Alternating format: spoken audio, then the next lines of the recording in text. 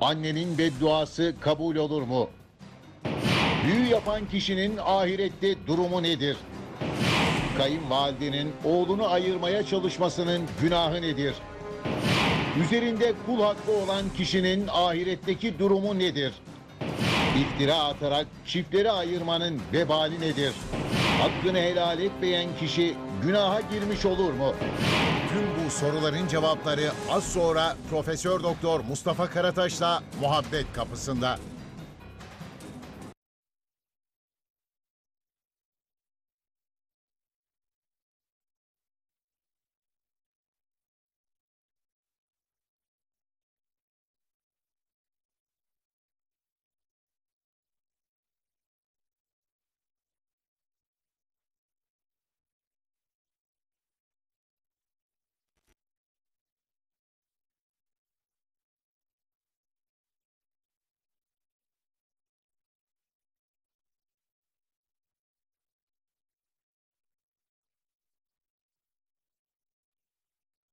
Soracağım. Bu soruyu soran kardeşlerim önce stüdyoda ve rejide görevli arkadaşlar size siz bilemezseniz seyircilerden gelen cevaplara göre hediye vereceğim. Bugün biraz kolaylaştırayım. Çok zor soruyorsunuz diyorlar. Bugün kolaylaştıracağım. Ee, ilerleyen dakikalarda o sorumu da soracağım. Şifreleri de takip edin. Hediyeleri kaçırmayın. Önce telefonumuz e, hazırmış. Hayırlı sabahlar, hayırlı pazarlar diyerek Bismillah başlayalım. Selamun Aleyküm. Aleyküm selam hocam. Hayırlı sabahlar. Hayırlı sabahlar efendim. Buyurun. Hocam benim size bir sorum olacaktı. Bu hacla ilgili. Bu ben hacca yazılmıştık, çıkmıştık. Üç sene, iki seneden beri Covid'den dolayı gide, gidemiyoruz. Covid'den dolayı kapandı zaten. Şu anda hiç Evet. kimse gidemiyor. Sadece siz değil. Belki bu sene de gidemeyiz. Diyelim ki ben e, hacca gitmeden, hacca gitmeden vefat ettim. Hanımımı dedim belki hacca yollayabilir miyim? Paranızı aldınız mı geri? Paramı aldım bir kısmı içeride duruyor. Bir kısmı duruyor içeride. Evet, Sanıyorum o bin riyal falan tutuyorlar. evet, evet hocam. O, o da şunun için e, yani çıkarsa hac kapılar açılırsa inşallah sizi götür- İnşallah. götüreceğiz demek için onu tutuyorlar orada. Evet Ee, hocam. ama diyorsun ki ben yazıldım. Geçen sene iki senedir gidemedim. Bu sene de gidemezsem bir de Allah gecinden versin. Ölürsem ne olacak böyle? Yazılmışım orada param duruyor. Evet, Allah e, Kur'an-ı Kerim'inde haccı farz kılmış. Estağfirullah ve lillahi alen nasi hiccul beyti men istata'a ileyhi sebila. Burada bak parası olan demiyor. Gücü olan demiyor. Zengine farz hac ama güç yetiren diyor. Güç yetiren men istata'a ileyhi sebila. Burası çok önemli. Kur'an'ın. Kur'an-ı Kerim'in evrensel olduğu, her çağa hitap ettiği, günlük e, sadece o güne ait olmadığı buradan da ortaya bir mucize Kur'an-ı Kerim. Güç yetirebilen, güç bazen parayla olur, paran olur ama yollar kapalı olur. Yollar açık olur ama hastalık olur. Kur'an-ı Kerim güç yetirene farzdır diyor. Demek ki güç yetiremiyoruz şu anda. Yani Evet. şu anda size farzdı ama gücünüz yetmediği için farzlıktan düştü. Ne zaman yollar açılırsa paranız da var, sağlığınız da yerindeyse gitmek size farz olur. Ama öldüm, öldüm diyelim Evet, veya gidemeyecek durumdayım. O zaman iki yolu var. Bir, hiç kimse sizin adınıza gitmese bile siz yazıldığınız için, yolunda olduğunuz için gitmiş gibi sevabını alırsınız. Çünkü İnşallah. siz o teşebbüste bulundunuz, yoluna girdiniz. İki, biri dedi ki oğlunuz, kızınız, dayınız, amcanız, yeğeniniz, damadınız neyse. Ya babam gidemedi, o parası da yatırmıştı zaten. Onun yerine ben gideyim diye vekaleten gitti. Sizin adınıza hac yapmak için gitti. Size yazılır. Yine size İnşallah. sevabı yazılır. Dolayısıyla eee, ne yapalım? Dua edeceğiz. İnşallah Rabbim kapıları açsın. Bir an İnşallah. önce ben de çok özledim Kabe'yi. Resul. Efendimiz'i çok özledim. Eee, hep eee, hayalime giriyor artık. Ya hakikaten Kabe'yi, Mescid-i Nebevi'yi hatırlıyorum. Ee, akşamları bazen açıyorum televizyonu, Kabe'yi gösteren televizyonu, Mescid-i Evet. Nebevi'yi gösteren. Onlarla biraz avunuyorum. Ee, gönlüm orada. Anladım. İnşallah en kısa zamanda gideriz.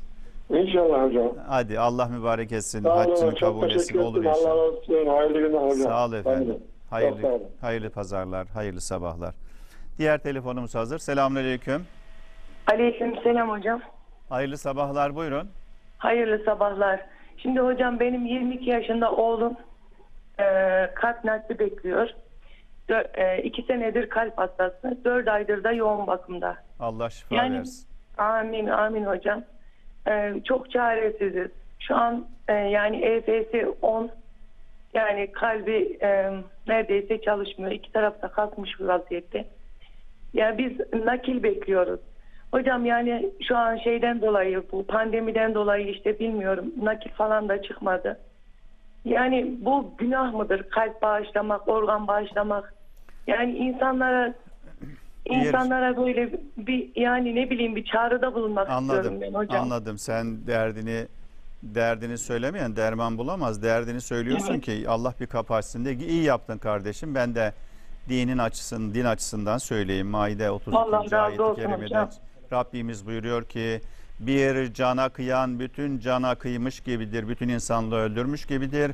Bir can kurtaran bütün insanları kurtarmış gibidir. Canı nasıl Evet hocam. kurtarıyoruz? Bak kan veriyoruz. Kan vermek helal. Başkasına Evet. kanımızı veriyoruz kurtarsın, kurtarsın diye. Dolayısıyla böbreğimizden, kalbimizden, ciğerimizden biri istifade edecekse onun şartları var. Nedir o? Ee, parayla satmayacak. Efendim e, mutlaka kalp nakli, e, karaciğer nakli vesaire gibi ölmüş raporu olan insanlardan nakledilecek ki canlılara insanlar ilişmesinler. Ee, Evet. ve rızasıyla, ailenin rızasıyla olacak ve karşı tarafta e, doktorlar buna ihtiyaç var diyecekler. Bu sebeple organı bağışlamak gerçekten bir can kurtarmak. Bir cana Şimdi bir de şu var. Bakın bu annenin feryadı. Bu annenin feryadı. Ya ne olacak vermesek ne olur? Bazıları da günah diyor falan. İhtiyacın Evet. olduğunu düşün. Empati yap. Yerine koy kendini. Şimdi geçen hafta ben bir soru sordum burada. Ne dedim? Hayvanlarla insanlar arasında en önemli fark, davranış farkı hangisidir? Hayvanlar yapamazlar, insanlar yaparlar dedim. Cevabı neydi? Sabırdı. Ama bir Evet. arkadaşımız da dedi ki, hocam sabır doğru ama Berkay söyledi. Ee, bir arkadaşımız da dedi ki geldi benimle burada reklam arası. İnsanlar empati yaparlar, hayvanlar yapamazlar dedi. O da doğru. Neden? Evet. Çünkü insan kendini başkasının yerine koyabilir. Ben onun yerinde olsaydım ne olurdu? Evet Benim hocam. ihtiyacım olsaydı, benim oğlum böyle bekleseydi, hayatı ona bağlı olsaydı, bir kalp gelse de nakledilse diye bütün dünyaları vermeye hazırdı. Onu kendimizi onun yerine koyalım. Biz empati yaptık. Seyircilerimizi empatiye davet ettim. Senin acını, derdini onlar hissetsinler. Kendilerini senin yerine koysunlar da bir düşünsünler. Varsa imkanı olan e, böyle işte evladı trafik kazasında vesaire vefat etmiş olabilir. Onun şartları var. Doktorlarımız biliyor. Türkiye'de Evet de ben araştırdım. E, yani bir takım ya- yanlış şeyler falan yapıldığı dönemler de oldu. Yapılıyor belki ama Türkiye'de kanunlar çerçevesinde hile yapmak kolay kolay mümkün değil. Yurt dışında bazı Yok hocam hileler olmuyor oluyor. zaten evet.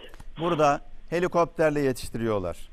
Gerçekten sırada bekleyenlere, ne kadar sırada bekleyen, kalp nakli bekleyen, böbrek nakli bekleyen hastalar var. Ben onların hatta konferanslarına da katıldım. Doktorlarımızı dinledik. Ee, birbirlerine organ nakli yapmış, bulunmuş e, efendim donerleri karşıla, e, yan yana getirdiler. Onların sevincini paylaştık. Bunları biliyorum. İnşallah Rabbim size en kısa zamanda acil bir şifa ihsan eyler. Siz Amin de hocam. oğlunuzu bağrınıza basarsınız. Amin hocam. Delikanlıya e, gözlerinden öpüyoruz, şifalar diliyoruz. Allah razı olsun hocam çok sağ olun. Sağ Allah ol kardeşim. Evet, selamünaleyküm, hayırlı sabahlar. Bir sorum var, Hayırlı yalnız sabahlar. sorumu unutturma Mustafa. Alo, Selamünaleyküm. hayırlı sabahlar hocam. Buyurun efendim. Ee, hocam hayırlı günler, hayırlı sabahlar. Size de, Allah Allah razı olsun sizlerden. hepimizden. Ee, bizleri dinle, sizleri dinledikçe içimiz açılıyor. İnan ki yani. Elhamdülillah Allah huzura ihtiyacımız var, kardeşliğe ihtiyacımız var, ruh sağlığına Sağ olun. ihtiyacımız var. Biz insanız Sağ olun çünkü. hocam. Benim şöyle bir sorularım hocam. Hocam şimdi ben ailemle e, e, çok sıkıntıdayım. Şimdi şöyle bir şey oldu da ondan. Yani ortada bir şey yok gerçi. Şimdi ben e, 2011'de ailemi hacca götürdüm. Evet. E, beraber gittik. E, 2012'de Ramazan'da e, şeye gittik. E, Ümre'ye gittik Ramazan'da. Orada tuttuk. Allah kabul etsin. Amin. Ee, Ondan sonra benim eniştem şey yapmış, e, falset etmişti. Dedi ki kız kardeşini de giderken götür dedi. E, o da rahatsızlaştı götüremedim. Ondan sonra onu şeye götürdüm, Ümrü'ye götürdüm. O zaman o da demişti, benim ailem de demişti, e, tamam götürür tabi enişte ne demek diyerekten.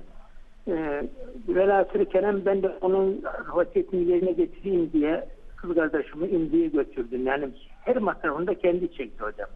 Kayınvalideni de kayınvalideni de mi götürdün? Yok, ablamı, kız kardeşime.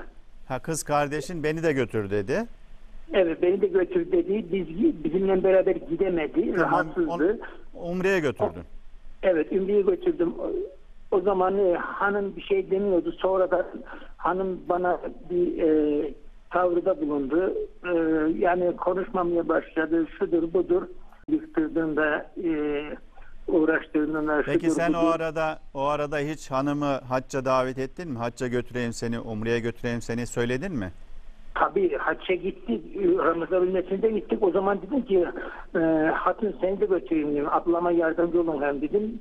Yok benim bacaklarım ağrıyor. Ben gidemem dedi. Tamam gitmemiş. E, gittik biz. Ondan sonra geldik 200 sene sonra bir evimi inşaata verdim. E, o zaman biraz şey yaptı, verme falan demişti. Biz de komşular verince biz de verdik. Vay efendim benim evimi yıktın da ve evi yaptık yani. Evi yaptık. Anladım. O bir yerden takmış sana. Gönül Evet. koymuş.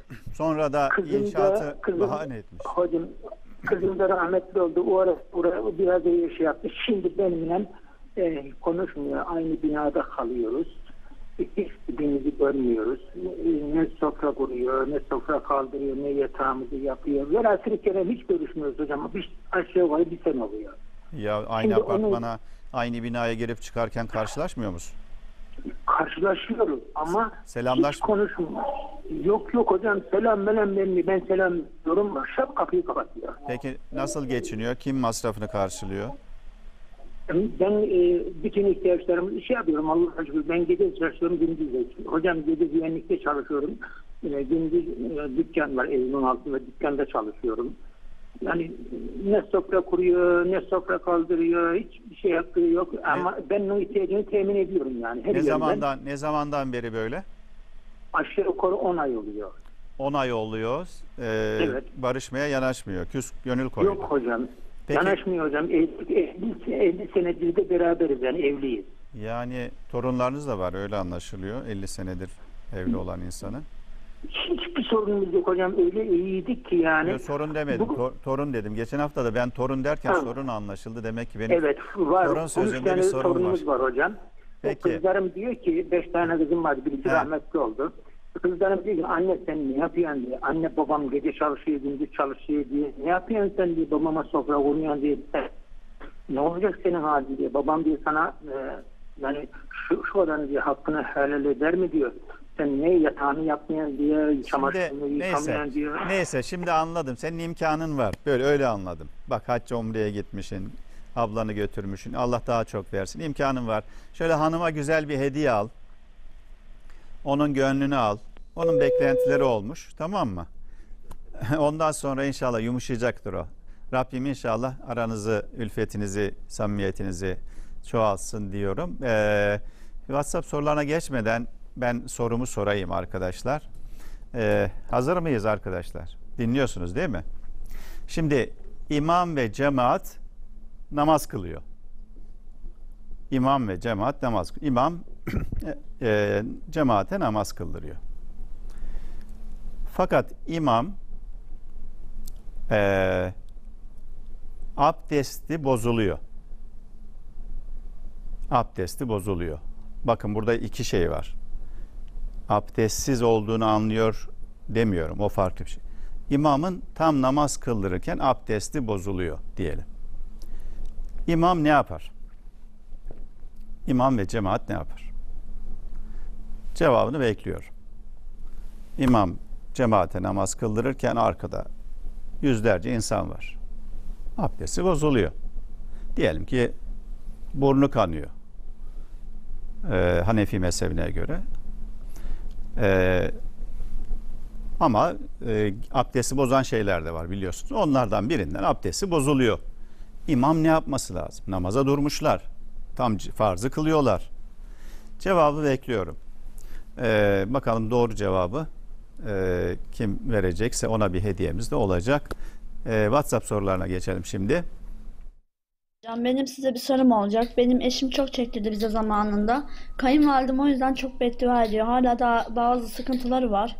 Kayınvalidem olur olmayacak şeyi sürekli beddua ediyor. Bu beddualar bizim çocuklarımıza vurur mu ve hiç her gün evde dert bela hiçbir şekilde bitmiyor. Hiçbir olayımız bitmiyor. Sürekli üst üste bir şeyler geliyor. Ne yapmamız gerekiyor hocam? Evet. Şimdi bed dua, kötü dua demek. Aleyhine dua. Arapçada dea ala. Dea aleh iyi dua. Dea aleyh aleyhine dua. Kötü dua. Şimdi bir insanın ağzından çıkan her kelimeyi melekler kaydediyorlar. İyiyi de kaydediyor, kötüyü de kaydediyor. Yani o boşa gitmiyor. Ya ben söyledim bir sözü, ya unuttular. İnsanlar duymadılar. Kimse bir yere yazmadı. Öyle düşünme. O kaydedildi. Kainatta hiçbir şey boşa gitmiyor. Şöyle yürüyoruz ya. Rüzgarı, havayı böyle yardık geçtik ya burada. Bu da yazılıyor. Şu hareketimiz yazılıyor. Başımızı çevirdik. Esselamu aleyküm ve rahmetullah. Esselamu aleyküm. Bu da yazılıyor. Baş, başını çevirdi böyle. Ve ileride filmimizi yapabilecekse teknoloji benim bütün hareketlerimi gösterebilecek.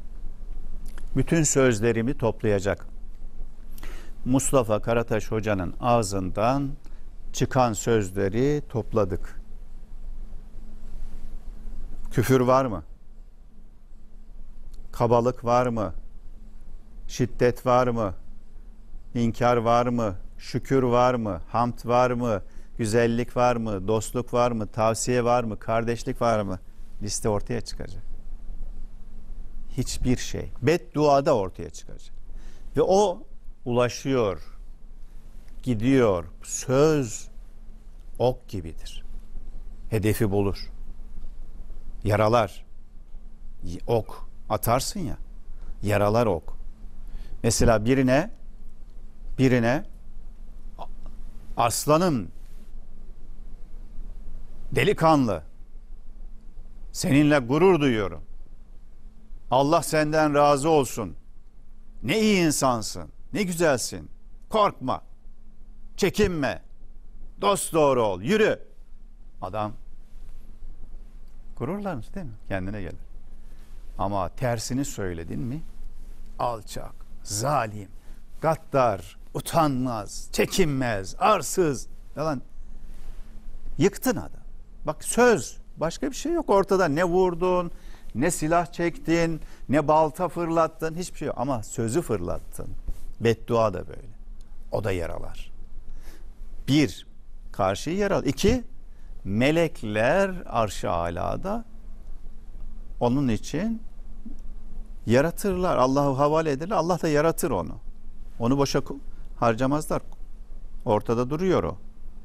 O sözün karşılığı çıkmaya başlar. İşte beddua tutar. Annenin bedduası tutar. Babanın bedduası tutar. Mazlumun bedduası tutar. Yolcunun bedduası tutar.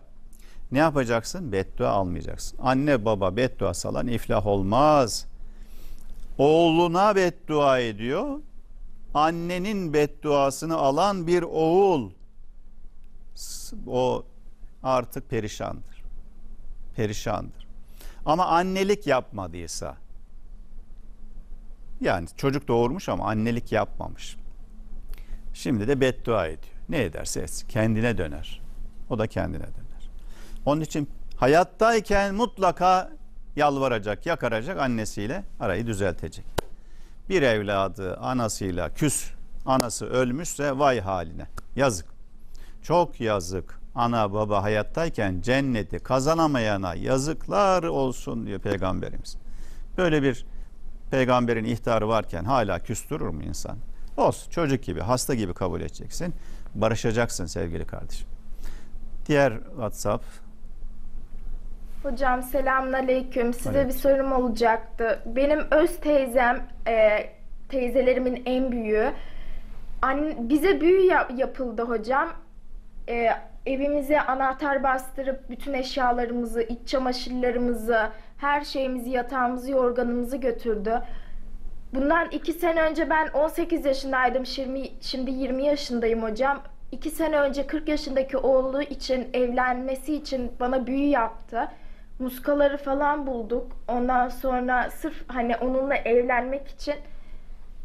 Şimdi bütün kardeşleri e, bize, te, bütün teyzelerim ve dayılarım bize küs.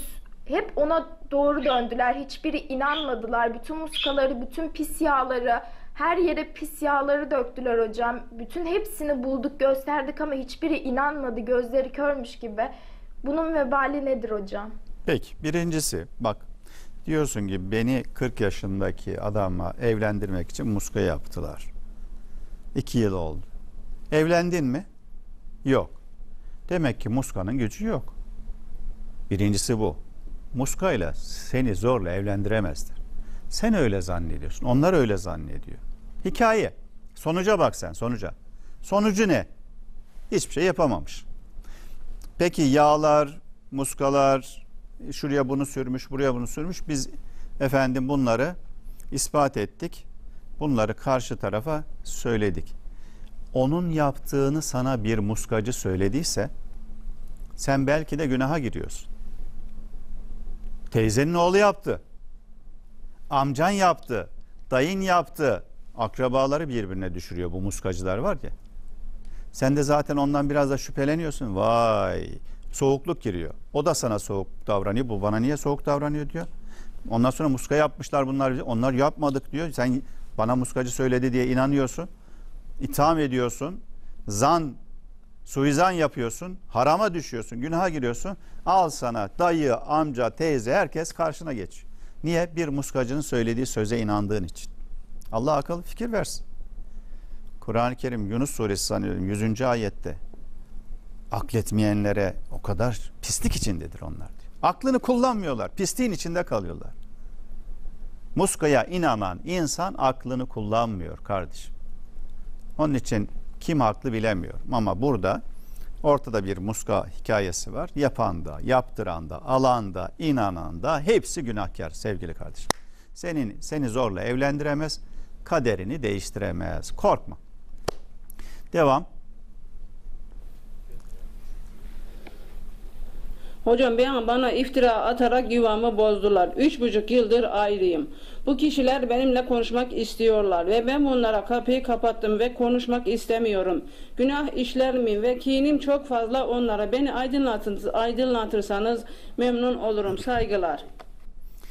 İftira atarak yuvamı bozdular dedi. İftira atarak yuvanı bozdular. Kocan nerede? Hangi tarafta? Kime inandı? Niçin inandı? Bir defa suç kocanda. Öyle aleme önce suç bulacağına önce kendine bakacaksın. Suç sizde kardeşim. Kocanda suç ki iftiralara inanmış. İftiralara inanacak zaten meyli varmış. İftiralara inanacak zaten kafasını kullanmamış. Seni dinlememiş, seni sevmemiş.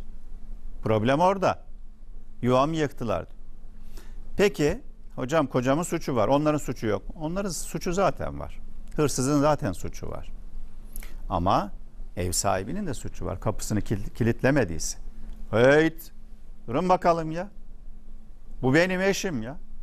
Ben bunu tanıyorum. Tertemiz, pırıl pırıl bir hanım. Namusumuza dil uzatanın dilini koparırım ben ya. Öyle şey mi olur? Dedi mi? Direndi mi? Kendini, eşini savundu mu? Yok. O da şüphelendi. O da sana tekmeyi vurdu. Birinci suçlu o. İkincisi o iftirayı yapanlar dünyada da ahirette de perişan olurlar. Üçüncüsü bu iftiraya inananlar imtihanı kaybetti. İftiraya inananlar imtihan olur. Etrafındakiler imtihan oldu. Sen gerçek dost ve düşmanını şimdi fark ettin. İftiranın insana faydası olur mu? Olmaz. Ama bir Bir tane faydası var. O ne? İftiraya uğrayan kişi dost ve düşmanını anlar. O anda kim sahip çıkıyorsa sana gerçek dost onlar. O dost gibi görünenler çil yavrusu gibi dağıldılar senin etrafından iftiraya uğradın diye herkes inandı. Onlar da dedikoduya girdiler. Anla ki onlar zaten senin kötülüğünü istiyorlardı zamanda iyiliğini istemiyorlardı. Ve onların kalplerinde birer problem var ki Allah onların ayağını kaydırdı.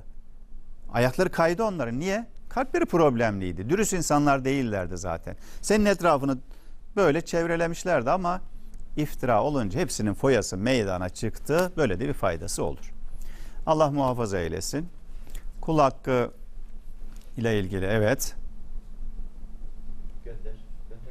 Hocam iyi günler diliyorum. Benim size bir sorum olacaktı. Ee, ben şu anda nişanlıyım ama nişanlımla daha önceden 4 senelik bir sevgililik dönemimiz olmuştu. Ee, o 4 seneden sonra 2 yıl ayrı kaldık yani Bir, da, bir dakika arkadaşlar. Ee, yani Arkadaşlar, Bir daha versene baştan. 4 sene çok birlikte olduk. yaptı. Ben Nişanlıydı. çok Bir beddua et- Hocam iyi günler diliyorum. Benim size bir sorum olacaktı. Ee, ben şu anda nişanlıyım ama nişanlımla daha önceden 4 senelik bir sevgililik dönemimiz olmuştu. Ee, o 4 seneden sonra 2 yıl ayrı kaldık yani ayrıldık. Ee, yani bana yapmadığını bırakmadı o 2 yılda da. Yani çok kötülükler yaptı. Ben ona çok beddua ettim. Yani inşallah senin bana yaptıkların evlatlarından çıkar falan gibisinden. Ee, ama şu anda o kişiyle nişanlıyım ve 4 gün sonra düğünüm var. Yani bu beddualar tutar mı? Çünkü haklı yere yapılan beddua e, tutar der e, diyorlar yani. E, sizce yani tutar mı ya da tutmaması için ben ne yapmalıyım ya da ne yapmalıyım yani bunun geri çevrilmesi için, affolunması için yardımcı olursanız çok sevinirim. Evet. İyi günler diliyorum. Sağ olun. Şimdi arkadaşlar soruya tek bir cevap verirsek yeter. Mesela bu sorunun cevabı nedir? Tutar ya da tutmaz. Fakat sorular kendi içerisinde pek çok sosyal olayı, dini anlayışı, sosyal anlayışı da barındırıyor. Hem soru hem cevap. Şimdi ben bu sorulara tek başına olur, olmaz, tutar, tutmaz dediğim zaman şöyle oluyor. Bakın. 4 sene ben sevgilimle beraber gezdim. Oh iyi yapmışsın kızım. Demiş oluyorum. Bak tutar tut. O da bir problem yok. Birbirimizle kavga ettik. iki sene ayrı kaldık. İyi yapmışsın. O da problem yok. Beddua ettim. Ha burada kötü yapmışsın. Demek olur benim cevabım. Olur ya da olmaz.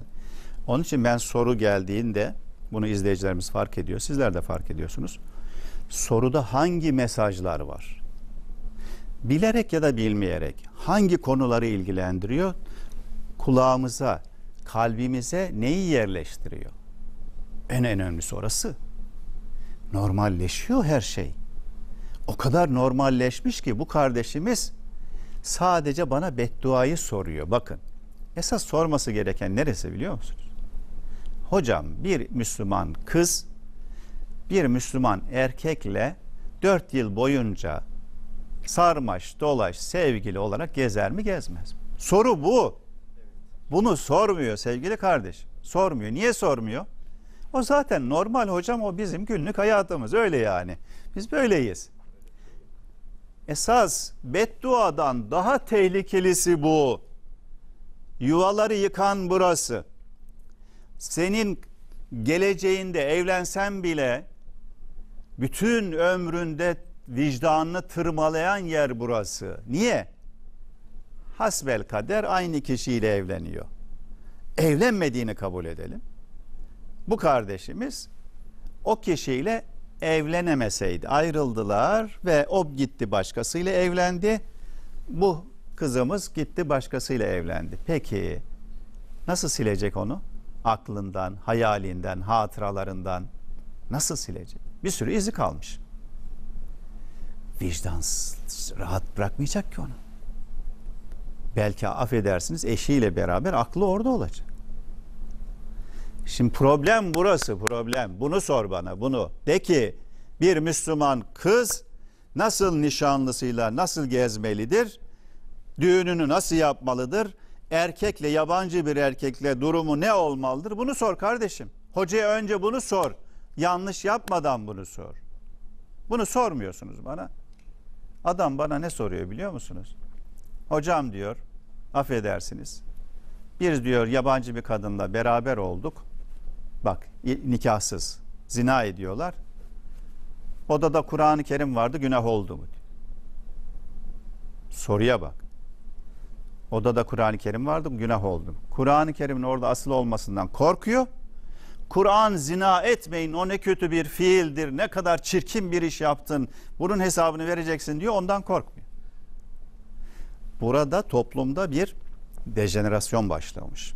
Toplum yaptığı yanlışı artık yanlış olmaktan çıkarmış, normalleştirmiş. İşte ben gelen sorularda önce oralarından yakalıyorum. Dur bir dakika. Beddua tutar. Orası çok önemli. Esas önemli olan senin o dört yıl yabancı bir erkekle sarmaş dolaş gezmen ol. Onu soracaksın önce. İslami duyarlılığın varsa, ahirette hesap verme duyarlılığın varsa bana bunu soracaksın. Kardeşim, Müslüman bir erkek, Müslüman yabancı bir kadınla hangi hallerde oturabilir, gezebilir, konuşabilir, anlaşabilir, ortak çalışabilir? Bunları ölçüsü var dinimizde. Ki ben öyle bağnaz, tutucu, dinin yasaklamadığını yasaklayan, dinin söylemediğini söyleyen bir insan da değilim. Din ne kadar özgürlük vermişse hepsini söylüyorum. Çünkü din kolaylıktır. Ed dini yusrun. Ve len teşadded dine. Zorlaştırmayın şu dini. Allah'ın yerine kendinizi koymayın haşa. Allah helal kılmışsa helal kardeş. Tesettürlü bir bayanla oturmuyor adam. Yan yana gelmiyor. Allah tesettürü niye farz kılmış? Yabancı erkekler için. Dışarıda gezsin, iş alışverişini yapsın, dışarıda efendim işini görsün diye kadına tesettür farz kılmış. E sen tesettürlüye ders bile vermiyorsun. Tesettürlünün karşısında efendim oturmuyorsun. Toplumun içerisinde halveti sayıya kastetmiyorum. O zaman tesettürün mantığı ne? Niye giyiniyor bu kadınlar, örtünüyor? Taliban şimdi Afganistan'da ne diyor? Tesettürlü de olsa kızlara erkek hoca ders veremez diyor. Ya Allah tesettürü zaten yabancı için farz kılmış ki yabancının karşısına bu tesettürle çıksın diye. Kur'an'ı bu kadar tersine ben bunları da söyleyen biriyim. Hani ama şunu da biliyorum ki 4 sene yanlış yaparak haram işleyerek geçirdiniz ya. Esas problem o. Beddua tutar mı? Tutar. Sen yaptın bedduayı. Ne dedin? Allah çocuklarından çıkarsın dedin. Gene evleniyorsun ondan şimdi. Bu kadar gördün hadiseyi. O zaman katlanacaksın. Peki hocam ne yapayım? Pişman oldum. Pişman olana da söyleyecek sözümüz yok tabi. Allah kabul ediyor pişman olmayı, tövbe etmeyi de ben nasıl reddedebilirim? Faydası olmaz diyebilirim. Tövbe edeceksin. Pişman oldum ya Rabbi diyeceksin. Ben büyük bir haram işledim, günah işledim. Hem dört yıl böyle nikahsız gezerek, tozarak hem de beddua ederek bedduayı kendime yapmışım. Şimdi farkında değil. Şimdi anladım Allah'ım sen ne büyüksün. Beni nasıl muhtaç ettin, perişan ettin. Kapısına kapına geldim. Yalvarıyorum beni affet diye. Yoksa tutar kardeşim. Devam. Bu arada sorumu unutmayın. İmam cemaate namaz kıldırırken abdesti bozulursa ne yapar? Peki ama bunu benim Instagram sayfama yazın ki buraya telefonlar, şifreler için gelecek. Çok meşgul etmeyin. Çok yığılma oluyor. Peki imam namaz iyi abdesti bozulursa nasıl davranmalı? Tedavisi görüyordum. Ee, daha önce kaç tane hastaneye gittim. Rahmimde hiçbir problem olmadığını söyledi. Bu gittiğime hastane problem var dedi. Biz bunlara inandık. İki kez beni ameliyata aldılar. Tamamen anneliğimi elimden aldılar. İki tane de dondurulmuş embriyon vardı. O çocuklarım da kaldı orada. Biz bunları mahkemeye verdik hastane ve doktoru. Ee, mahkemenin gönderdiği bilir kişiler, hastaneler e, doğru düzgün muayene dahi etmeden hep bir şey hiçbir şey yok deyip hep bizi geri döndürdüler. Her şeyi örtbas ettiler gittiğimiz hastane. E, hocam ben bu hale düşürdüler. Benim gittiğim hastaneler e, durumumun kötü olduğunu söyledi. Mahkemenin gönderdiği hastaneler hiçbir şey yok dedi. Hocam bunun vebali nedir? Bunu öğrenmek istiyorum. Böyle durumlarda ihmal varsa cezasını çekecekler. Kasıt varsa zaten belli olur. Yani avukatınızı tutacaksınız ve mahkemeye de vereceksiniz. Hakkınızı almak için uğraşacaksınız kıymetli kardeşim. İmkanınız varsa ya da devletten yardım isteyeceksin. Bu tür konularda e, Rabbim inşallah şifalar versin. Hatalar oluyor mu? Olabilir. Yanlış insanoğlunun olduğu yerde yanlış da olur. Ama kasıt ve ihmal varsa onlar da cezasını çeksinler derim. Senin anlatmana göre ama belki sen yanlış anlıyorsun. Gerçek onlar söylediği gibi onu da ben bilemem. Ona mahkeme karar versin. Ama hata varsa vebal onların. Ee, onun da e, efendim farkına vardıkları zaman özür dilemeleri lazım. Gereken tedavi yapmaları lazım veya en azından tazminatı vermeleri lazım. Devam edelim. Hayırlı sabahlar hocam. Amin. Ee, eşimin ailesi evlendiğim zaman elimdeki altınları borç olarak aldılar. Geri vereceklerini söylediler. Bir süre sonra vazgeçtiler. Arsa veririz yerine dediler. Altınları veremiyoruz. Ondan sonra arsadan vazgeçtiler. Evin üstünü yapacağız dediler. Evin üstünden vazgeçtiler. Onu çocuklarına miras olarak paylaştırılacağını söylediler. Ben e, artık yaşlandıkları için e, bir şey diyemiyorum ama helal etmek istiyorum ama yürekten o helallik gelmiyor. E, ne yapabilirim? Yüreğim helal etmiyor. Dilde helal ediyorum. Helal etmek istiyorum. Sonra pişman oluyorum. Edemiyorum. Kalbim izin vermiyor. Yüreğim izin vermiyor. Etme. Helal etme. Niye gönlün helal etmiyor da dilinle helal ediyorsun? Zaten insanlar hep bu münafıklık yüzünden böyle problemler çıkıyor. Bu münafıklık olur. Nifak olur. İçin başka, dışın başka. İçinden ne geçiyorsa söyle kardeşim ama kırmadan, üzmeden söyle. Bizim problemimiz bu toplum olarak. Adamı sevmiyoruz. Ama öyle bir davranıyoruz ki o ağam paşam ya sen ne güzelsin varlı. Gidince de Allah belasını versin. O mu kusurlu sen mi kusurlusun? Onda kusur olabilir ama sen kusurlusun zaten. Niye olduğun gibi görünmedin ki? Ya her yanlışa biz ağamsın, cicimsin, paşamsın dersek yanlış nasıl düzelir? Yanlış yapmışlar. Bu kadar mehri, miras vesaire söz nerede? Etmiyorum helal, hakkım haram olsun dersen ya düzelecek? Düzelmese de sen rahat edeceksin. Vicdanın da rahat, alnın açık. Onlar söz verdi, yapmadı. Haram olsun dedim. Demiş olursun. Yoksa yediler hakkımı, zıkkım olsun. içinden böyle diyorsun. E kızım bize hakkını helal et. Ya- Yapamadık, edemedik. Sana söz verdik ama helal olsun babacığım, anacığım dedin. Sende problem var. Böyle davranmayın. Bu davranış münafıkça bir davranış. Ne demek? İçi başka, dışı başka. Münafık ne demek? İki yüzlü. İki yüzlü ne demek? İki tane kapısı var. Bu tarafa dönüyor böyle, bu tarafa dönüyor böyle. Onun için tünellere nifak, efendim münafık e, e, gibi bir ismi var tünelin. Menfak diyorlar efendim. Ne, nefik diyor. Nefik, tünel, nefik demek. Ne demek? Münafık. İki tane yüzü var. iki kapısı var tünelin. Evet. Sosyal medyadan sorularımızı alalım. Selamun aleyküm. Oğlum diyor ki Allah bizi yarattı. Günah işleyeceğimizi biliyor. Tövbe haşa neden bizi yarattı diye soruyor. Ben bunu anlatamadım. Aydınlatırsanız sevinirim. Güzel.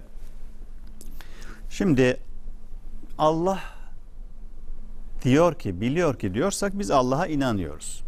Var, bir yaratıcı var. Her şey boşu boşuna olamaz. Kendiliğinden olamaz. Yani şuraya bu masa kendiliğinden yürüyerek geldi desem bana gülersiniz. Beni buradan alıp çıkarırsınız. Ya bu hoca artık kafayı yedi dersiniz.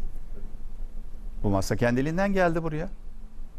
Olmaz. Biri ustası var. Marangozu var. Kaç kişi uğraştı bu masa oluncaya kadar?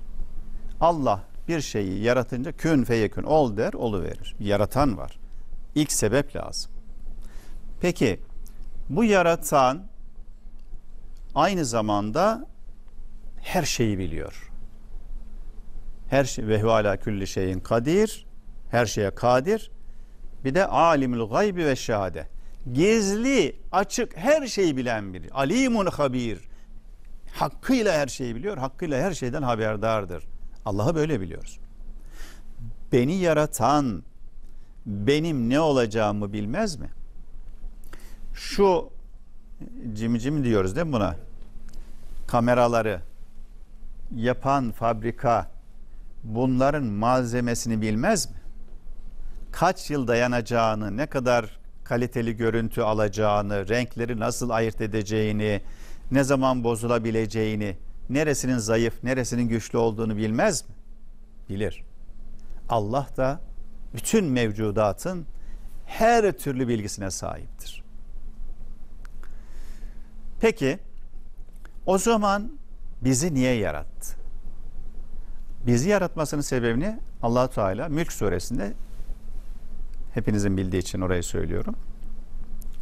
Liyeblüveküm eyyüküm ahsenu amela ölümü ve hayatı yarattı ve sizin hanginiz daha güzel hareket edecek sizi sınamak için allah Teala hayatı var etti. Sınay, sınıyor. Hem biliyor hem sınıyor. Şuna benzer tabiri caizse. Sınıfta ben ders veriyorum. Pazartesi de yarın değil mi pazartesi? Açılış dersinde ben yapacağım fakültede inşallah. Ee, ilmin faziletiyle ilgili hadisler okuyacağım. İbni Hacer el Askalani'nin Fethül Bari adlı eserinden insan, insanlara, e, talebelere inşallah ilk açılış dersini yapacağım. Şimdi ben talebemin sınıfa girdiğim zaman hangisi başarılı, hangisi daha iyi dinliyor, hangisi daha iyi çalışıyor, hangisi daha zeki, hangisi daha tembel, hangisi daha derse uzak, hangisi daha derse kendini vermiyor. Hepsini görüyorum. Ama bir de itiraz olmasın, eşitlik olsun diye kafamdan not vermiyorum, sınav yapıyorum. Sınav yapıyorum. İtiraz etmesin. İşte senin sınavın o. Kağıdına ne yazarsan karşına o çıkacak. Ekra kitabek yakamıza asılacak. Allah da kitabını oku diyecek. Sen yazdın bunları. İyiler de var, kötüler de var. İyiler çoksa cennete, kötüler çoksa hadi cehennem. Affettiyse, kötüler de olsa müminiz elhamdülillah cennet. Allah bunun için yaratıyor. Bir de Allah'ın bildiği için yapmıyoruz. Allah bizim ne yapacağımızı bildiği için yazıyor.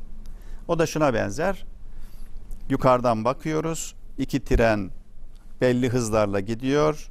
Hesabını yapıyoruz. Şu mevkide bunlar çarpışacak diyoruz. Ya da güneş tutulacak diyoruz. Ay tutulacak diyor. Hesabını yok. Biz dediğimiz için tutulmuyor. Onların hareketlerinden tutuluyor zaten. Ama biz bunu biliyoruz. Buna benzer. Onun için kafayı takma. Böyle izah edersen Allah biliyor ama bizi imtihan ediyor ve sınav kağıdımızı görmek istiyor. Sınav kağıdı. Devam. 3 yıldır evliyim. Düğünümde 200 gram altın takıldı. Eşim altınlar senin. Sen zekatını ver diye bana yardımcı olmuyor. Ben ev hanımıyım. Elime geçen paraları biriktirip veriyorum ama zekat miktarına ulaşmıyor. Kabul olur mu? Ee, eşin doğru söylüyor. 200 gram altın duruyor. Kıyamıyorsun ona. Zekatımı da sen ver diyorsun. Senin verdiğin paralardan zekatını vereyim. Altına dokunma. Olur mu onun verdiği paralardan zekat? Olur. Sana hediye eder. Sen o parayla zekatını da vermiş olsun ama altının 200 gram zekatı altının her sene 5 gram altınını zekat vermen lazım. 5 gram 500 liradan ortalama diyelim ki 2500 lira. 2500 lira vereceğine 500 lira veriyorsun. Günaha girdin mi? Girdin. Çalıyorsun. Zekattan çalıyorsun. Bak helal malına hile yapıyorsun. Kendi helaline pislik bulaştırıyorsun. Temizlemektir zekat. O pisliği bulaştırma. Tam tamına kuruşu kuruşuna vereceksin ki eşim vermiyor. Altını bozduracaksın. Zekatın hikmetlerinden bir budur. Niye stokluyorsun? E kara için. Tamam stokluyorsan bedeli var. Ya onu çalıştır, çalıştırdığından kazanırsan zekat verirsin. Kazanamazsan vermezsin ama piyasaya sürülsün. Ya da yastık altında tutarsan fakirin, fukaranın orada hakkı var. Onu ver diyor. Bak İslam ne güzel bir. Yarın inşallah Ülke TV'de parayı konuşacağız. Parayı. Para, yoksulluk yarın akşam saat 10'da her pazartesi Ülke TV'de biliyorsunuz güncel konuları konuşuyoruz. Bunlardan biri de yarınki konularımızdan biri para. Para o kadar önemli ki. Hem dünyamız hem ahiretimiz için. Para silah. Bizi vezir de yapar, rezil de yapar. Yaşatır ya da öldürür. Onun için zekatını tam vereceksin kardeşim. Evet. Cuma günleri öğle namazı kılmak için erkeklerin cumadan çıkmasını beklemek lazım diye bir şey duydum. Doğru mu hocam? Doğru. Özellikle cuma günü cumaya gitmeyen erkekler kadınlar da gidebilir. Gitmezlerse cemaatin cuma kılmasını beklerler ve cemaat yapmadan öğle namazını kılarlar. Bak burası önemli. Biz cumaya gitmedik ama hep beraber gelin öğle namazını kılalım. Olmaz. Olmaz. Bu sene oğlum Özbekistan'a gitti. Orada böyle bir yanlışlık yapılmış. Cuma'ya e, koronadan dolayı yasaklanmış. Ama cemaat demiş ki biz cuma kılmıyoruz, öğle namazını kılalım. Bunun mantığı da yok, dine uyan tarafı da yok. Yani öğle namaz için bir araya geldiysen zaten cuma kılacaksın. Cuma namazı kılmayanlar kılınmasını beklerler gidemediyse Ee, ve öğle namazını cemaatle kılamazlar. Kendileri kılacaktır. O gün cuma namazı evde kılınmaz, tek başına kılınmaz. Öğleyi kılacaktır. Bir de öğle e, namazı farzdır. Kılamazsa cumaya gitmek de farz. Gidememiş. Öğleyi kılması farz. Bu öğleyi kılma, e, cuma kılınmadan ya daha doğrusu vakit girmiş beklemezse ne olur? Beklemezse kılsa ne olur? İade etmesi gerekmez. Sonuçta o bir e, tedbirdir. Devam. Telefon mu varmış? Peki. Selamünaleyküm.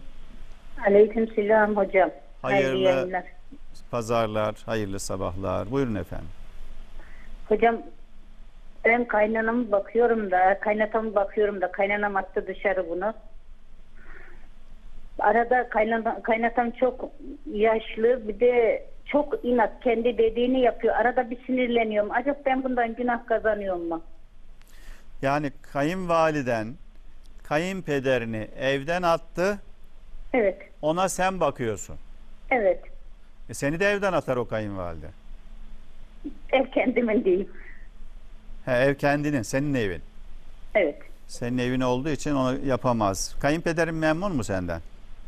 Memnun memnun. Memnun da ben çok aşırı derecede sinirleniyorum. Dur bir dakika Çünkü daha çok soru- yanlışları var. He, sorun bitmedi. O oğlu memnun mu? Kocan memnun mu yaptığında? Memnun. Yani iyi ki Evet. babamıza biz bakalım annem attı. Evet, Peki evet. Kayınvalideyle hiç görüşmüyor musun? Yok görüşmüyorum hocam. Kaynatam attıktan sonra görüşmüyorum. Doğruyu söyleyeyim. E, evime de gelmek istiyor koymuyorum. Eve de koymuyorsun. Niye gelmek istiyor? Ya gelmek istemiyor da şimdi kaynatam burada ya gelmek istemiyor da hani böyle alışveriş ben zaten pişirdiğimi veriyorum. Ben pişirdiğimi veriyorum. O yiyor. Ama evime gelme diyor. İstemiyorum diyorum. Sen bu adamı attın kapıya merhamet bekliyorsun. Merhamet etmiyorum sana diyor. Ya kayınpederin de peki böyle yani biraz garip geldi bana. Çok Sessiz sessiz, sedasız. sakin bir adamdır. He. Yani çok cent, beyefendi biriymiş. Böyle hiç Evet. itiraz etmemiş. Ee, evden dışarı. Peki o, o beddua ediyor mu karısına? Yok hiç sesi çıkmıyor diyor. Deli diyor. Boş ver Hatice diyor. Allah Allah. Adam tanıyorsa tabii sen ne yapacaksın? Aralarına girme gene de. Beddua etme. Sen kayınpederin gönlünü almasını bil. Ona bak sizin imtihanınız o. Kayın, kayınvaliden imtihanı kaybetmiş. Kocasını evden atmış. Kocası çok centilmence davranıyor. Kadına kötülük yapmamış. Kabullenmiş bunu bir müddet. Size sığınmış. Siz de ona güzel davranırsanız, duasını alırsanız çok büyük sevap elde edersiniz. Kayınvaliden de inşallah hatasını anlar. kocasının bundan sonra daha çok kıymetini bilir. İyi ki Hocam hayırlı evladı var. çok kötü kelimeler kullanıyor kocasına. O yüzden de yani koymak istemiyorum. Haşa çok pis hayvanın ismini söylüyor adama. Tamam. Ben de sinirleniyorum koymuyorum. Tamam verme. iyi olmuş. Korumuşsunuz. Bir hayvan bile olsa koruyacağız. İnsan bu sonuçta. Hem de akrabamız. İyi yapmışsınız. Günaha girmezsin. Ama e, ona karşı da e, Allah'a havale et. E, kendisi söylesin söyleyecekse. Söylemiyorsa sen söyleme. Oldu. Çok Allah'a sağ ol. Hayırlı yayınlar. Sağ ol. Eşine de selam Hayırlı- söyle. O, Aleyküm o selam amcanın da ellerinden öpüyorum. Ee, Sağ olun hocam. Sağ ol. Allah'a emanet olun. Amin amin. Bir telefon daha hazırmış. Selamünaleyküm. Aleykümselam. Hocam nasılsınız? Allah razı olsun. Teşekkür ederim. Hocam benim bir sorum olacaktı. Allah bağışlasın. Hocam- Kaç yaşında bebek? Ee, bebek daha iki aylık. Oo ne güzel. İsmi ne? Ho- Ebrar. Ebrar. Allah iyilerden eylesin. Ebrar. Amin. İyi. Hocam iki sorum olacaktı da size. Söyle. Ee, çocuğum yeni doğdu ilk bebeğim. Ben kızmıştım buna. Ee, yani kötü bir şey söylemiştim Allah alsın diye. Çok üzülmüştüm o an. Acaba günah var mı bana hani kabul olunur mu? Anne Bir de- karnındayken mi söyledin bunu? Yok doğduktan sonra eşime kızmıştım. Ya bir daha bir daha sarıl şunu bir daha öp ya. Yani o, o masuma insan kızar mı? Onlar melek. Çok- Melek. Çok kızdım Allah alsın falan demiştim o an. Oo. Ee, bir de eşimin bana bir yanlışı olmuştu bir sene önce. Helallik istiyor hocam vermiyorum. İçimden gelmiyor. Bir ucu söylesem de içimden gelmiyor. Ee, evimizden falan olduk bayağı bir hani söylemiştim evine gelme cebinde paran olsun ama kıymeti olmasın falan. Gerçekten de öyle oldu hocam. Ne yapabilirim ben acaba? İçinden geldiğin zaman söylersin. İçinden geldiği zaman söylersin. Şöyle e, yapalım mı? Senin daha sorun varsa bir ara verelim. Tekrar bağlasın arkadaşlar. Peki kısa ara verelim. Ondan sonra tekrar konuşalım kardeşimiz. Evet bir kardeşimiz yavrusu için tabii doğduğunda bir e, istenmeyen bir cümle sarf etmiş. Şimdi de tabii yani öpüyor, okşuyor, bağrına basıyor, seviyor tabii. Pişman olmuş o söz tutar mı diye. Pişmanlığımızı hem yaşantımızda, fiilimizde hem de tevbemizde göstereceğiz. İnşallah onun adına da sadaka versin. Pişman oldu. Fakir fukarayı doyursun. Kefareti olarak böyle bir kefaret yok ama o da pişmanlığın göstergesi olur. Telefonumuz hazırmış. Selamünaleyküm. Selamünaleyküm hocam. Aleykümselam. Tuncay Bey buyurun. Hocam nasılsınız? Allah razı olsun. Teşekkür ediyorum. Hocam sizden bir ricam var ya. Söyle. Hocam benim kısmetim kapalı. Bir türlü evlenemiyorum hocam. Kısmetin Yani kapalı. bütün- Evet Kim, hocam. kap- kim kapatmış? Vallahi benim hocam kapalı. ya kapalı olduğunu görüyorsan açarsın. Evet. Ka- kaç yaşındasın? Ben mi? He. Ben 43 yaşındayım hocam. 43 yaşında hiç evlenmedin mi? Hiç evlendim ayrıldım hocam. E, kapalı değilmiş. Açıkmış. Peki niye ayrıldın? Evet hocam. Niye ayrıldın? Geçinemedin. Anlaşamadık hocam. Anlaşamadın. Kaç Evet yıl hocam. kaç yıldır a- ayrısın? Vallahi hocam 6 senedir 6 senedir ayrıyım hocam. Peki sen şimdi benden ne istiyorsun? Ey hoca beni ilan et bana talip çıksın diye mi aradın? Evet hocam. Peki. E, 43 yaşındasın. Ne iş yapıyorsun? Tekstilde çalışıyorum hocam. Tekstilde çalışıyorsun. Evet. E, kendi evinde mi oturuyorsun? Kiradayım hocam. Kirada kiminle oturuyorsun? Annem köyde de ben tek oturuyorum burada hocam. Annenlerin evinde e, şehirde oturuyorsun. Peki Annem de yaşlı biraz. 70 Peki. yaşında annem. n- nasıl bir e, eş arıyorsun? Ne istiyorsun?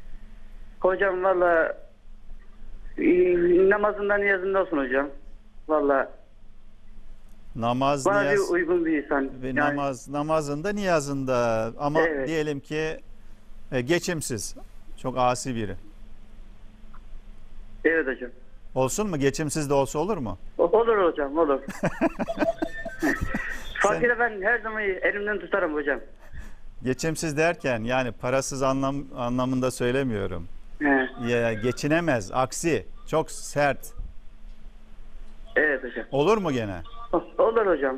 Sıkıntısı Evet. yok hocam. Oo. Ben her türlü bakarım hocam.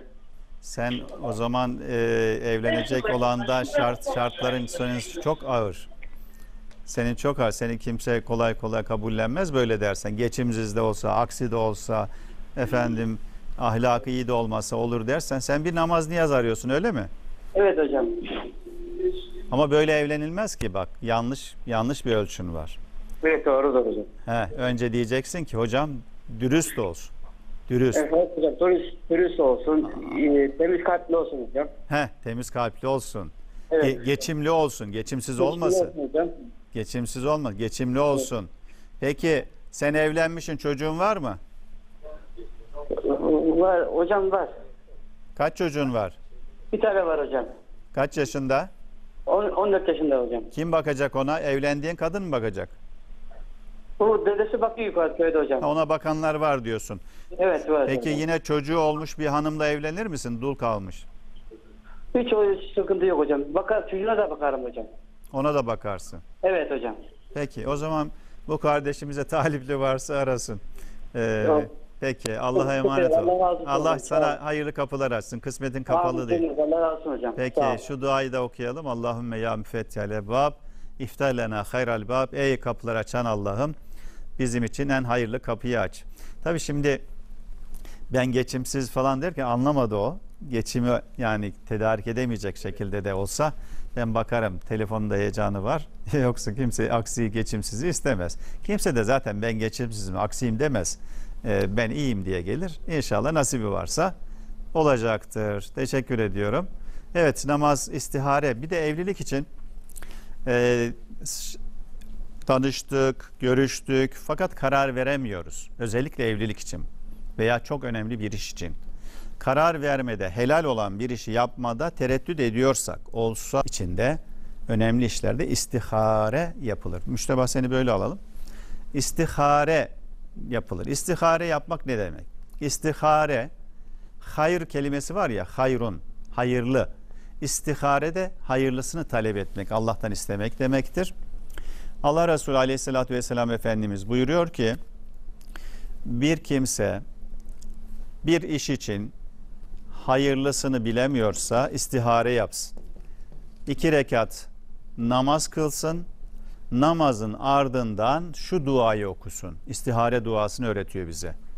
Ve ettehiyatu duasını öğrettiği gibi istihare duasını da öğretiyordu.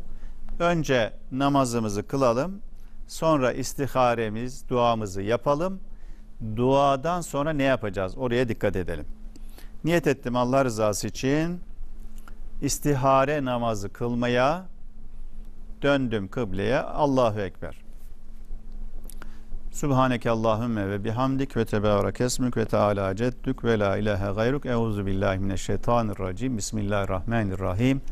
Elhamdülillahi Rabbil alemin. Errahmanirrahim. Maliki yevmiddin. İyyâke na'budu ve iyyâke nesta'in. İhdina sıratal müstakim. Sıratal lezine en'amte aleyhim.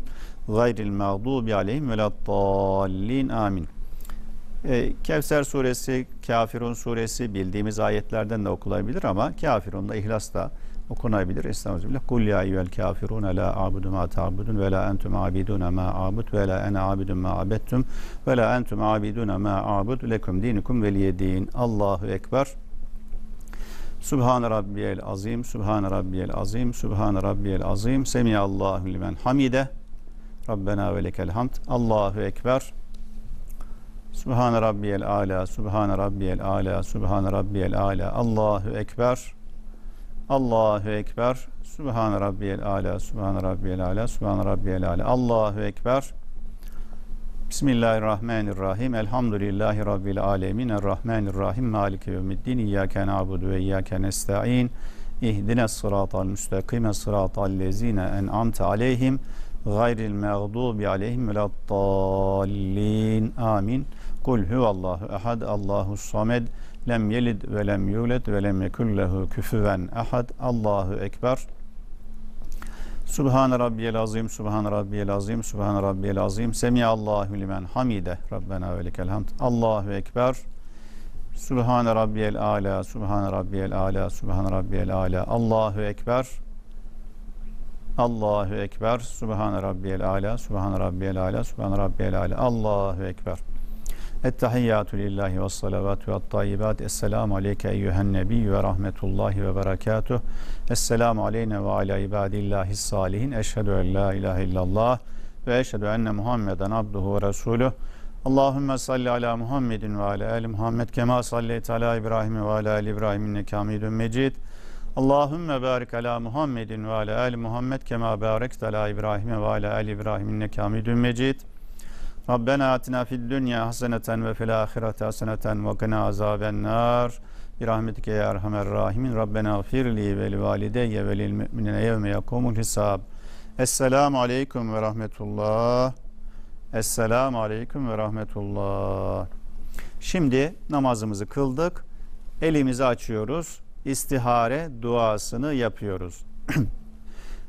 Allahümme estahiruke bi ilmike estakdiruke bi kudretike ve es'eluke min fadlikel azim fe inneke takdiru ve la akdiru ve ta'lemu ve la a'lemu ente allamul guyub Allahümme in kunte ta'lemu enne hazel emre hayrun li fi dini ve maaşi ve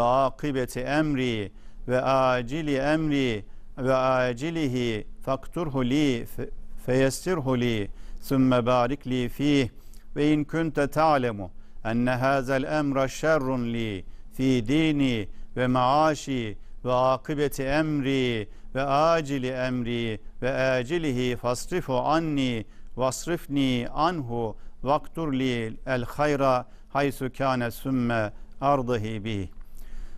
Allah'ım ilmine güvenerek senden hakkımda hayırlısını istiyorum.'' Gücüme güç katmanı istiyorum. Sınırsız lütfundan bana ihsan etmeni istiyorum. Ben bilemiyorum, sen biliyorsun. Ben güç yetiremem ama sen güç yetirirsin. Ey Allah'ım, yapmayı düşündüğüm bu iş benim dinim, dünyam ve geleceğim açısından hayırlı olacaksa bu işi benim hakkımda takdir buyur. Onu bana kolaylaştır, uğurlu eyle ve bereketli eyle.''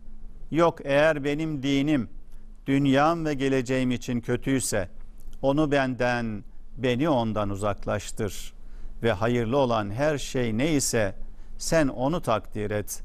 Beni hoşnut ve mutlu eyle Allah'ım. Amin. Velhamdülillahi Rabbil Alemin. Duayı yaptık. Allah kabul etsin. Bütün kardeşlerimiz bu şekilde namazdan sonra bu duayı yapacak. İstihare yapmak isteyen. Sonra o arada bekleyeceğiz. O anda gönlümüze bir hoşnutluk geldi. Bir mutluluk geldi. Bir ferahlık geldi. Ve içimizden bir ses iyi olacak, hayırlı olacak, güzel olacak diyor. Onu yap. Evlenmeye karar veremiyordun, onunla evlen.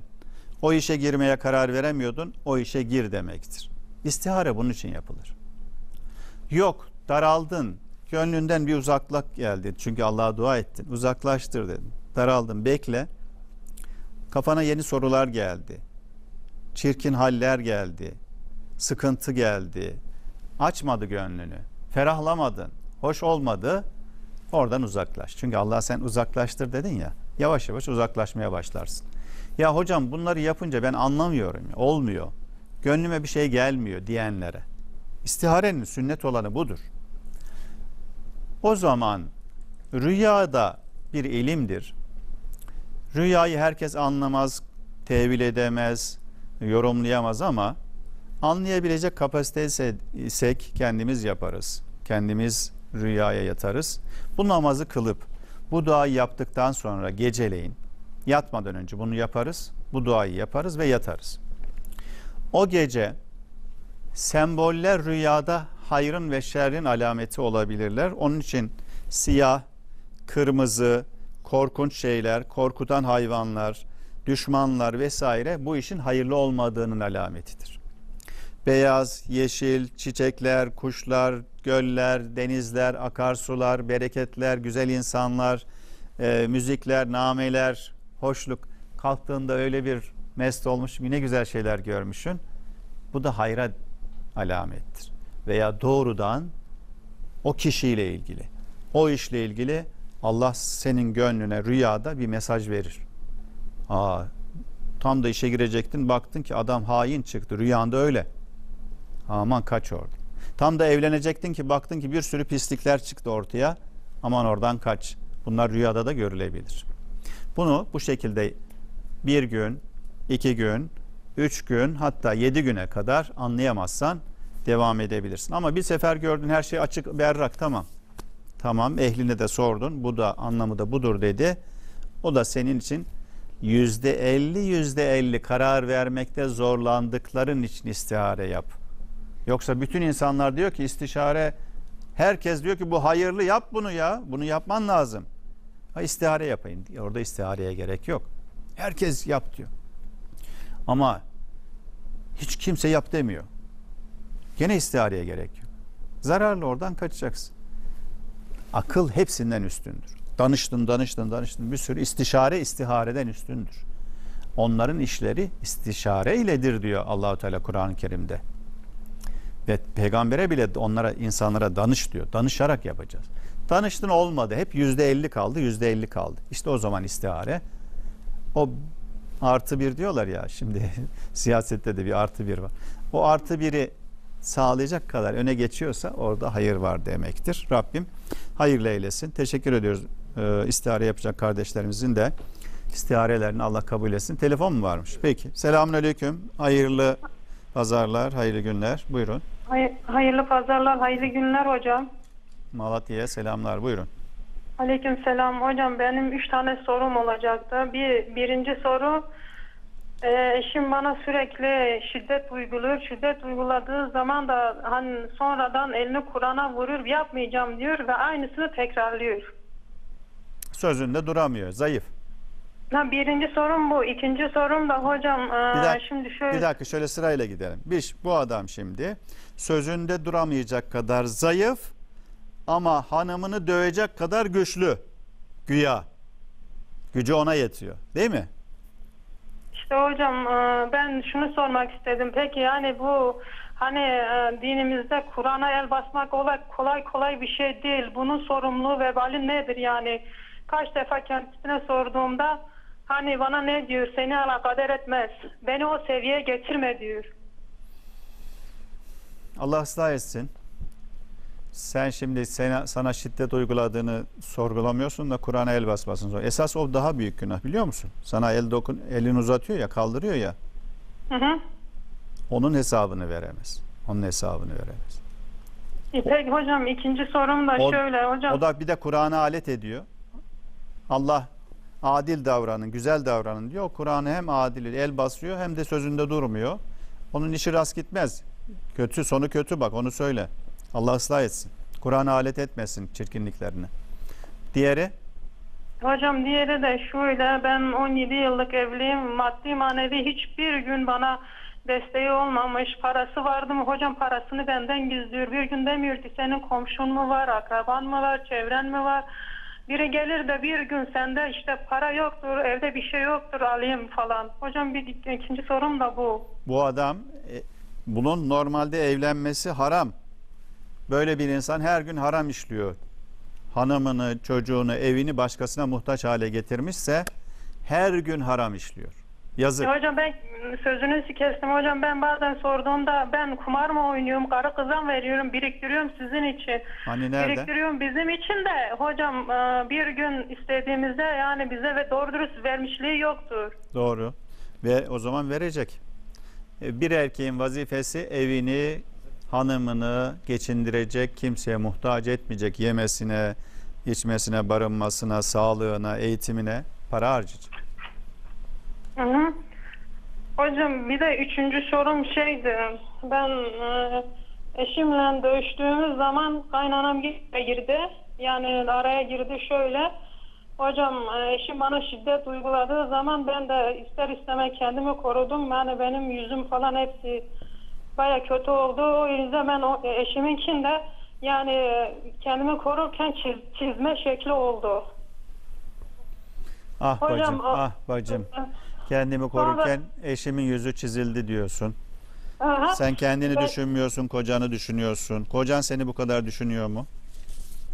Yok hocam şimdi şöyle kayınbabam gel falan geldi. Kayınbabam yani dedi ki insan bir e, adama el kaldırır mı? Dedi ki ben elime Kur'an'a vurayım yüzde yüz gelinin suçu. Kaynanam da geldi dedi ki sen e, huzur bozmaya gelmişsin.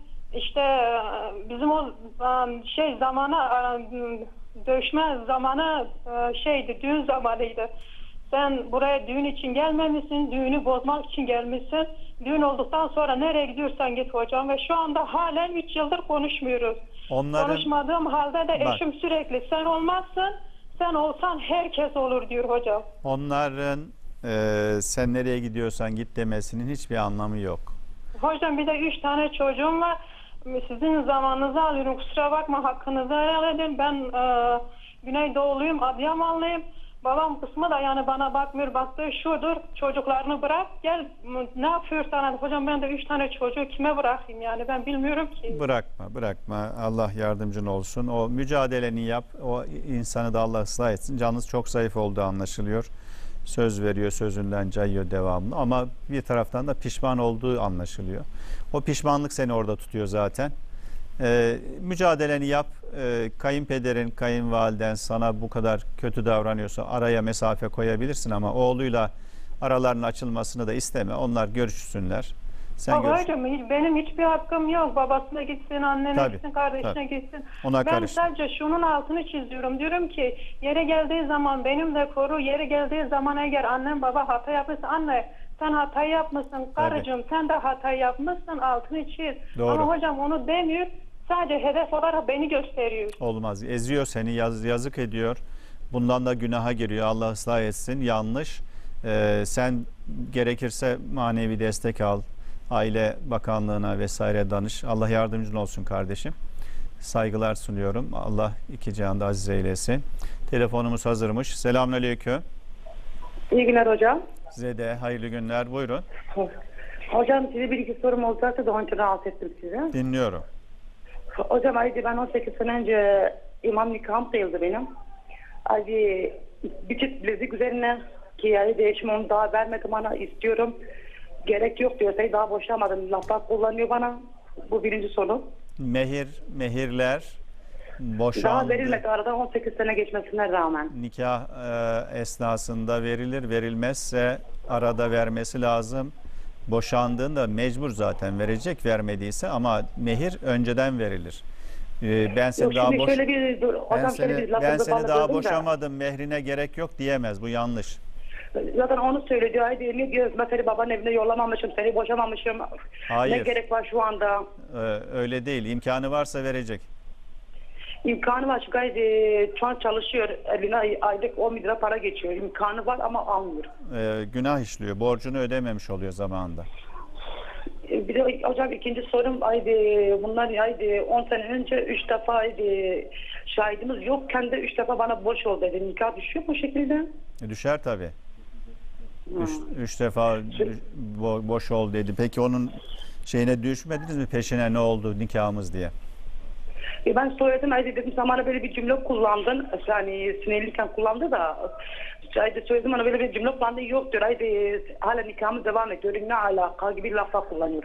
Şöyle kardeşim bak dört mezhebe göre nikah düşür ama günümüzde alimler iki tarafta yuvayı dağıtmak istemiyor. iki tarafın da niyeti aslında bu değil işte kızmış vesaire. Kızgınlığı da ciddisi de şakası da ciddi sayılmış kadına kolaylık olsun diye. Kadın da boşanmak istemiyorsa burada e, bunu bazı alimlerin görüşlerini de yuvayı kurtarmak için e, bir sayıyorlar. Kur'an-ı Kerim'de de öyle.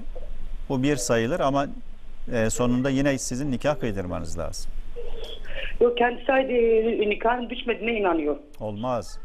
Öyle bir şey olmaz. Nikah zaten Bir de nikah, şöyle bir durum hocam. Adam diyor, nikah ki- bana diyor düşer. ki haydi diyor, bak o cümleleri kullanırken hani şahidin var mıydı senin diyor. Şahidin yokken diyor nasıl düşmüş olabilir diyor. boş, boşamada e, boşamanın lafızları kullanıldığında iki taraftan biri boşamış olur. Orada ilan edildiğinde yani birisi ispat ettiğinde şahit o zaman olmuş olur. Boşamada şahit Ya- gerekmez. Zaten söyledim ona hadi 3-4 defa uyardım dedim. Şimdi Her dedim şöyle, nikah boşamada dedim. şahit Haydi gerekmez. boyuna dedim. Bak boşamada şahit gerekmez derken Talak suresindeki e, usule uymamış olur. Haram bir boşama yapmış olur ama boşamayı alimler bu şekilde kabul etmişlerdir. Haram bir boşama yapmış olur. usule uygunsuz bir boşama yapmış olur ama nikah gerekiyor. En azından e, tekrar sorup bir nikah kıymanız lazım. Ya ben kendisine söylüyorum diyor, diyor böyle saçma sapan şeyleri bırakın ne gerek var. Ki bu, bu lafları aklına sokuyor, ortaya kafanı karıştırıyor gibi laflar kullanıyor. Yanlış yapmış. Gerek yok diyor.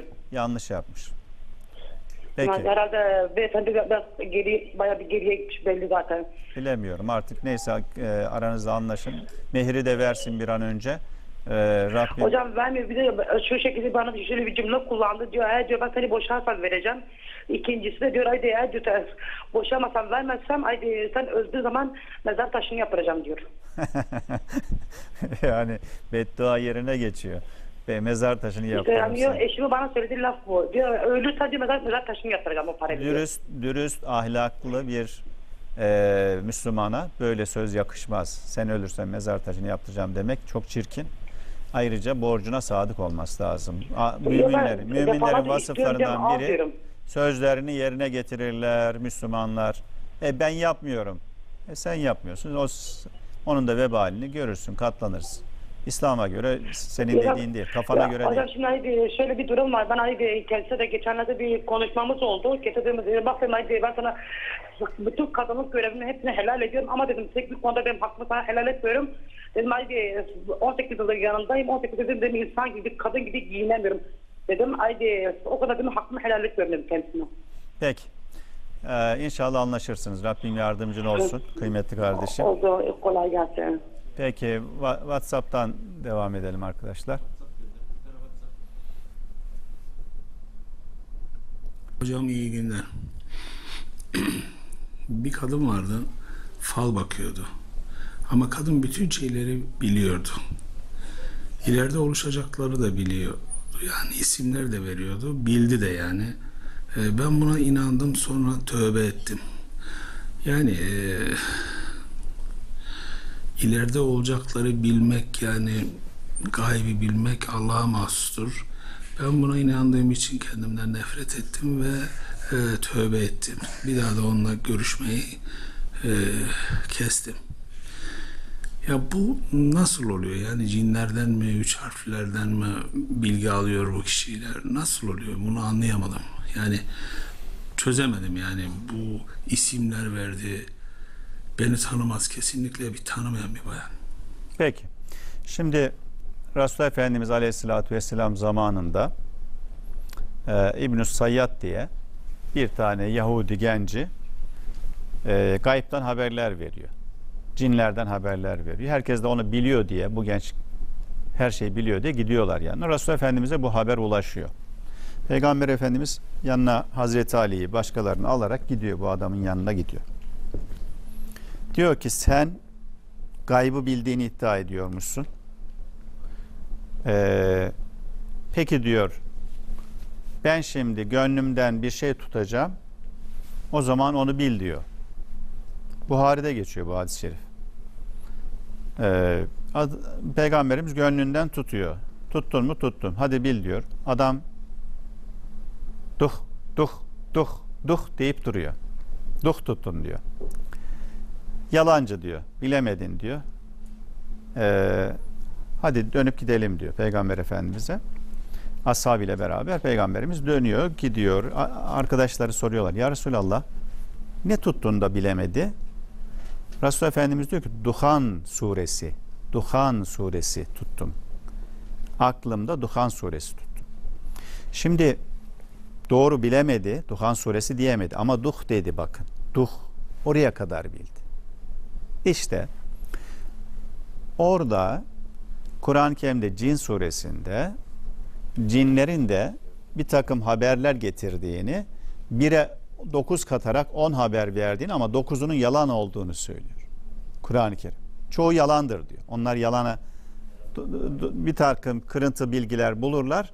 İşte kırıntı bilgiden hareketle biliyorum diyor. Denk gelince de herkes bildi diye hareket ediyor. Resulullah Efendimiz Aleyhisselatü Vesselam o adamın foyasını ortaya seriyor ve bir daha da oraya kimse gitmiyor. Peygamber onu azarlayınca kimse gitmiyor. Bu da böyle. Biz bunlara inanamayız.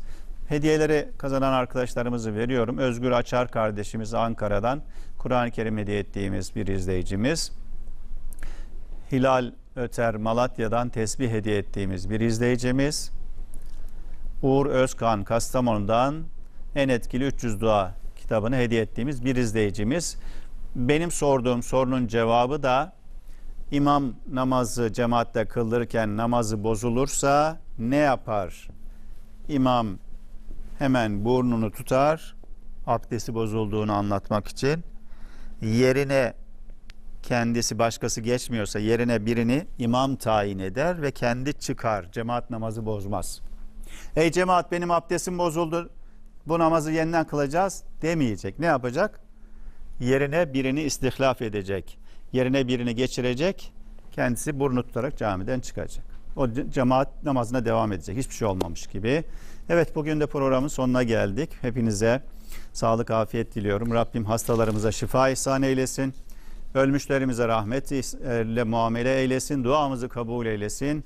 Allah'a emanet olun. Pazartesi Ülke TV'de yarın akşam ve Perşembe günü ve yine pazar günleri Kanal 7'de görüşmek üzere. Hepinize sağlık, afiyet diliyorum. Hoşçakalın, var olun.